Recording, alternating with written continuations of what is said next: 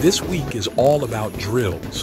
Ekow is drilling in combos and technique that will be paramount for his next opponents.